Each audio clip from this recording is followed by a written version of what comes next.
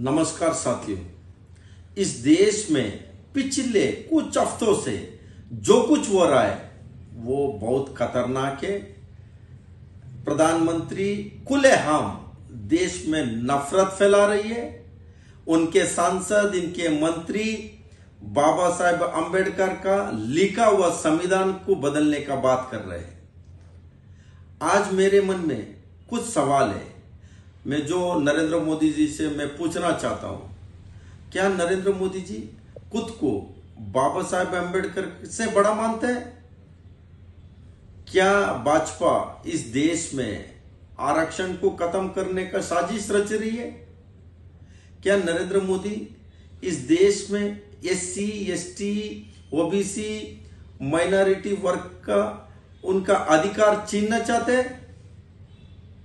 इस सब के बीच मैं प्रधानमंत्री का एक बात कहना चाहता हूँ।